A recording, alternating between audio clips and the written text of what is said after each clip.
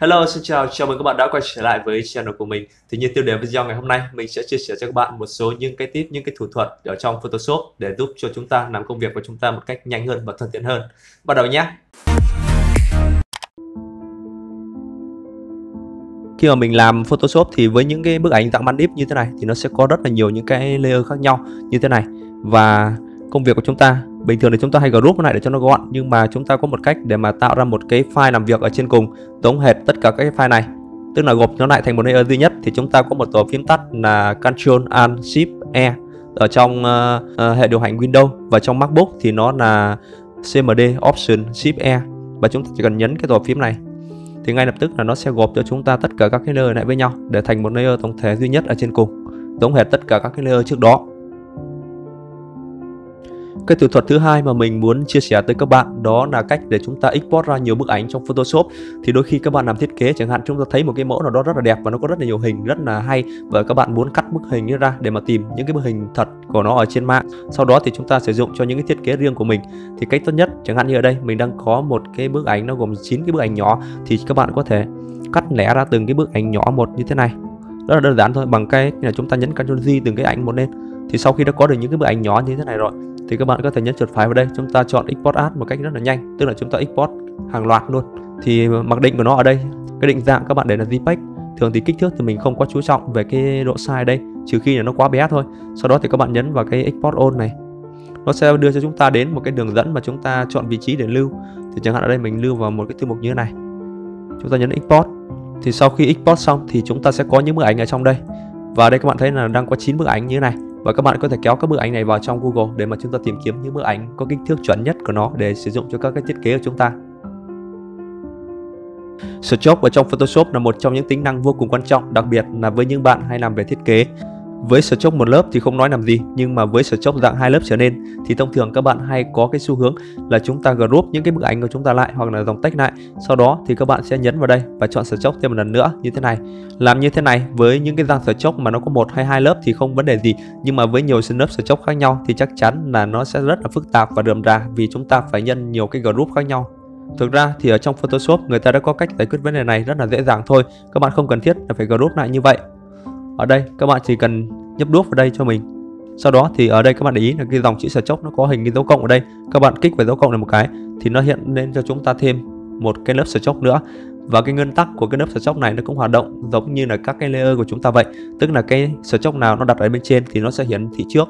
Và lớp chốc nào bên dưới thì sẽ bị đè lên. Chẳng hạn ở đây với lớp chốc ở bên dưới mình muốn chẳng hạn như là mình muốn cho nó là lớp để nó uh, outside ra ngoài tức là nó phóng to ra. Ở đây mình tăng cho khoảng 20 để quan dễ nhìn nhé mình sẽ nhấn vào đây, mình chọn outside này.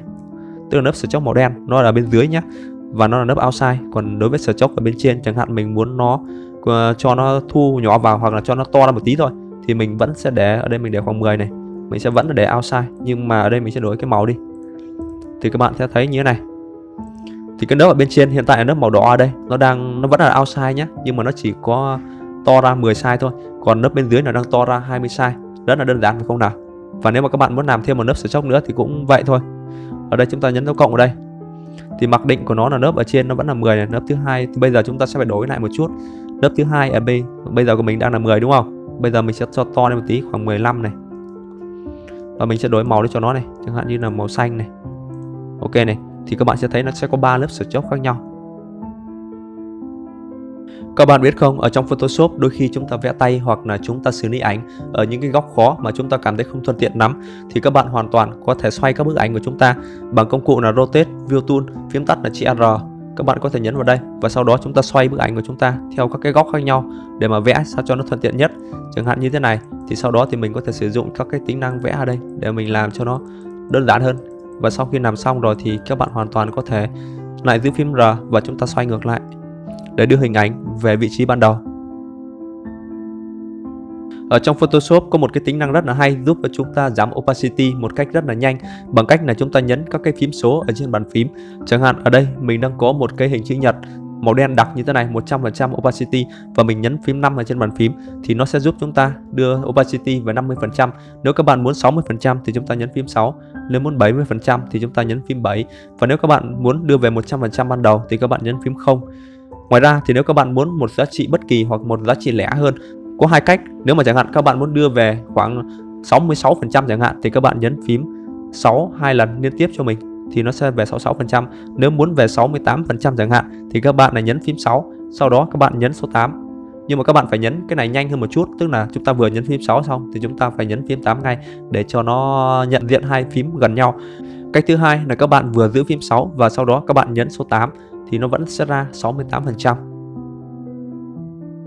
Các bạn biết đấy, trong Photoshop thì thường chúng ta sẽ phải thực hiện rất là nhiều những cái công đoạn khác nhau. Vậy mà chẳng hạn đôi khi mà chúng ta muốn quay trở lại một cái bước nào đó nhưng mà chúng ta không thể quay trở lại được tối đa. Hiện tại thì mặc định ở trong Photoshop nó chỉ cho chúng ta quay trở lại 50 bước nhưng mà các bạn hoàn toàn có thể thay đổi cái thông số này ở trong Photoshop bằng cách là chúng ta truy cập vào Edit, chúng ta chọn Frequency, ở đây chúng ta chọn General, phím tắt là Ctrl K và các bạn có thể vào Performance ở đây. Trong cái thông số History State, mặc định là 50 các bạn có thể tăng nó lên. Bình thường thì mình hay đặt khoảng 100 hoặc là 200 nhưng mà các bạn chú ý là khi mà các bạn tăng cái giá trị lên thì đồng nghĩa với việc là Photoshop của chúng ta nó cũng phải gánh thêm mức độ công việc và nó lưu trữ nhiều hơn cái dữ liệu vào trong cái kết của nó. Thành thử ra là các bạn hãy chọn một cái thông số phù hợp với cấu hình máy tính của các bạn nhé các bạn biết đấy, trong Photoshop có rất nhiều cách để giúp chúng ta nhân đôi một layer bất kỳ. Thông thường thì các bạn hay có xu hướng là chúng ta sử dụng phím tắt là Ctrl G trên bàn phím hoặc là chúng ta kéo cái layer của chúng ta xuống cái biểu tượng layer đây để nó nhân đôi lên. Một cách nữa đó là chúng ta nhấn chuột phải và chúng ta chọn Duplicate Layer. Ok. Thì những cái cách này nó cũng ờ, khá là hay và thuận tiện. Tuy nhiên là với thiết kế thì nó lại khác. Thông thường thì chúng ta không nhất thiết là phải nhân đôi một layer nhưng mà phải giữ nguyên cái vị trí của nó mà chúng ta có thể di chuyển nó đến các vị trí khác nhau thì để nhanh hơn. Các bạn có một cách rất là hay, đó là chúng ta giữ phím Alt và chúng ta kéo cái layer của chúng ta đi. Thì tự động nó sẽ nhân cho chúng ta lên một cái layer mới như thế này. Hoặc là các bạn cũng có thể vừa giữ phím Alt và vừa giữ thêm phím Shift nữa để kéo và nó sẽ không bị lệch ra khỏi tâm. Một tính năng rất là hay và cực kỳ quan trọng trong Photoshop, đó là Clipping Mask Tính năng này rất là phổ biến trong Photoshop nhưng mà không phải ai cũng biết và đặc biệt là với những bạn mới học Photoshop thì cách sử dụng của nó thì cực kỳ đơn giản. Chẳng hạn ở đây mình đang có một cái dòng chữ clipping mark như thế này và một bức ảnh ở trên nó. Nguyên tắc hoạt động của clipping mark đó là cái ảnh ở bên trên nó sẽ được mark vào cái hình của nó ở bên dưới. Chẳng hạn như ở đây mình có bức ảnh như thế này và mình kích chuột phải vào đây, chúng ta chọn clear clipping mark thì ngay lập tức cái hình ảnh của chúng ta nó sẽ được lọt vào trong cái dòng chữ clipping mark như thế này. Và các bạn có thể nhấn tổ phím Ctrl T để chúng ta di chuyển các cái vị trí sao cho phù hợp nhất thì thôi. Khi các bạn chụp ảnh phong cảnh, có thể là do vô tình hay là do cố ý mà các bạn để những bức ảnh của chúng ta nó bị nghiêng cái đường chân trời của nó. Chẳng hạn như bức ảnh ở đây, các bạn thấy là cái đường chân trời nó đang bị lệch một chút so với cái chiều ngang của bức ảnh của chúng ta.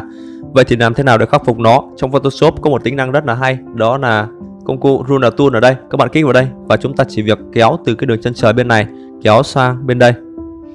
Cân chỉnh làm sao để cho nó cân bằng nhất thì thôi. Và chúng ta thả tay ra. Sau đó các bạn kích vào chữ Straighten Layer ở đây cho mình thì ngay lập tức nó sẽ tự động nó căn chỉnh cái đường chân trời của chúng ta sao cho nó song song so với cái chiều ngang của bức ảnh của chúng ta. Và để đắp lại những cái vùng như thế này thì một là các bạn có thể sử dụng content aware hai là chúng ta có thể crop lại một chút để cho nó gọn lại cũng được. Tùy vào nhu cầu của các bạn. Bạn biết đấy, Vintage là một trong những phong cách màu ảnh cực kỳ phổ biến trong giới nhiếp ảnh cũng như trong giới chỉnh sửa ảnh. Đại diện tiêu biểu của màu vintage là hai màu vàng và màu xanh da trời. Chúng đều mang cái tông hoài cổ. Với màu vàng, người ta thường át nó lên những vùng ánh sáng highlight và với màu xanh thì hay át lên những vùng shadow. Ở trong Photoshop, mình có thể sử dụng công cụ Curvet, một công cụ được sử dụng rất là nhiều và cực kỳ là quan trọng trong Photoshop. Ở đây các bạn có thể chọn cái kênh màu là blue và chúng ta kéo cái phần highlight này xuống một chút để cho nó ám cái phần màu vàng và phần shadow chúng ta tăng lên một xíu để nó ám cái phần màu xanh như thế này thì các bạn có thể thấy, cái bức ảnh của chúng ta sau khi mình tắt cái này đi. Và mình bật lên, thì cái màu vintage nó đã hiện lên một cách rất là rõ ràng. Đây là một trong những cái thủ thuật, một cái công cụ phải nói là cực kỳ là sử dụng rất là nhiều trong giấy nhiếp ảnh, đặc biệt là những bạn nào mà hay sử dụng cái màu vintage khi các bạn làm design với những cái hình ảnh mà nó có nhiều layer và chúng ta muốn xem xét kỹ hơn một cái layer nào đó, chẳng hạn như là cái hình ở đây của mình mình đang muốn xem xét hình ảnh cái cây cầu này, xem nó đã vẽ, đã chuẩn chưa, thì chúng ta có thể giữ phím Alt và sau đó chúng ta kích vào cái biểu tượng cái mắt cá ở đây một cái. Như thế này thì nó sẽ hiển thị lên mỗi một cái layer đó thôi, tất cả các layer khác ở đây sẽ bị tắt đi và chúng ta có thể mở tất cả các layer còn lại bằng cách giữ phím Alt và nhấn vào cái biểu tượng này một lần nữa. Nếu bạn hay sử dụng pen tool để cắt hình trong Photoshop, đặc biệt là bạn đã từng sử dụng qua Illustrator thì chắc chắn bạn sẽ biết pen tool ở trong Illustrator nó sẽ giúp chúng ta định tuyến trước hình ảnh của chúng ta. Nhưng trong Photoshop mặc định thì tính năng này đã bị tắt đi. Các bạn có thể bật lại nó lên bằng cách là chúng ta kích vào đây. Cái biểu tượng cài đặt và chúng ta chọn Rubber Band trong pen tool và khi chúng ta vẽ lên thì nó sẽ có một cái đường định tuyến trước cho chúng ta như thế này các bạn có thể thấy là cái đường đây nó giống như là một cái sợi dây cao su vậy khi chúng ta kéo đi thì nó sẽ Ờ, nhấp nháy như thế này. Ở trong Illustrator thì cái đường chéo này nó thường nó sẽ bắt nét nó nhanh hơn. Ở trong Photoshop thì cảm giác là nó hơi nhấp nháy. Nó sẽ như thế này đây, để nó giúp cho chúng ta định tuyến được cái đường nó đẹp hơn một tính năng nữa cũng rất là hay ở trong Illustrator đó là over scrolling. Tuy nhiên tính năng này ở trong Photoshop đã bị tắt đi. Các bạn biết là khi mà chúng ta zoom to những bức ảnh lên như này và chúng ta có thể sử dụng công cụ hand tool để kéo đến các vị trí khác nhau. Nhưng mà khi chúng ta zoom nhỏ, cái hình ảnh của chúng ta nó bé hơn cái khung làm việc của chúng ta thì chúng ta sẽ không thể di chuyển được nó nữa. Vì vậy các bạn có thể nhấn tổ phím Ctrl K để mở bảng Preference lên và trong cái mục tool ở đây các bạn tích vào cái chữ over scroll cho mình. Nhấn OK và bây giờ chúng ta có thể di chuyển được cái bức ảnh của chúng ta trong cái khung làm việc, kể cả là bức ảnh của chúng ta, nó nhỏ hơn cái khung làm việc đi nữa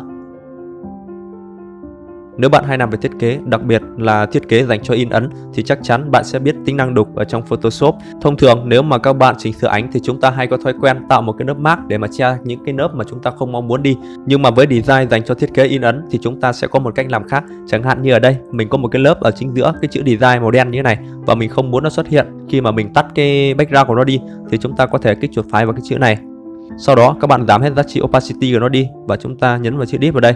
Nó sẽ loại bỏ cái phần nền của chúng ta đi và nó sẽ cho chúng ta một cái file trong suốt như thế này. Bạn biết không, khi mà chúng ta design các cái sản phẩm trên những chất liệu đặc biệt, chẳng hạn như là vải trên gỗ, thì chắc chắn là những cái nét in khi mà in ra nó sẽ không được sắc nét như là khi các bạn in trên giấy. Để khắc phục tình trạng này, ở trong Photoshop mình sẽ chỉ các bạn một cách. Đầu tiên thì ở đây các bạn có thể nhân cái nơi background lên một lớp cho mình.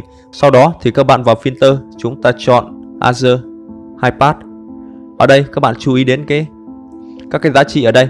Các bạn hãy điều chỉnh làm sao để mà thấy những cái nét ở trên sợi vải nó đẹp nhất và nó vừa nhất với cái thiết kế của chúng ta. Ở đây mình để là hai chấm. Mình nhấn ok. Sau đó thì các bạn truy cập vào image. Chúng ta chọn adjustment và chọn desaturate, tức là khử độ bão hòa đi.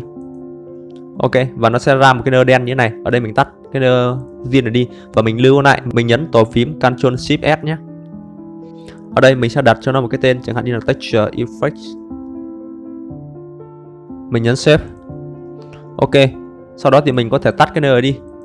Và mình trở lại với cái layer của chúng ta. Với cái layer zin ở đây thì các bạn lại truy cập vào filter. Các bạn chọn distort và chọn zip plate cho mình. Ở đây mình đặt các cái giá trị này thường thấp thôi, mình đặt ở đây khoảng 2 thôi. Tùy vào cái hình kích thước của chúng ta, mình nhấn ok. Và mình sẽ add cái file mà mình vừa tạo vào. Có texture effect ở đây. Thì các bạn có thể zoom to lên ở đây để chúng ta xem. Xung quanh này nó sẽ tạo ra những cái hình răng cưa cho nó ăn vào cái hình của cái chúng ta. Tức là nó ăn lên từng cái chất liệu, chẳng hạn như chất liệu vải chẳng hạn. Khi mà nó in lên thì chắc chắn nó sẽ không sắc nét đâu, mà nó sẽ bị răng cưa nhẹ nhẹ như thế này đấy. Các bạn thấy video thế nào? Hãy comment để cho mình biết ý kiến nhé. Đừng quên nhấn like và subscribe để ủng hộ mình cũng như xem nhiều video hơn nhé. Một lần nữa, xin chào và hẹn gặp lại các bạn trong những video tiếp theo.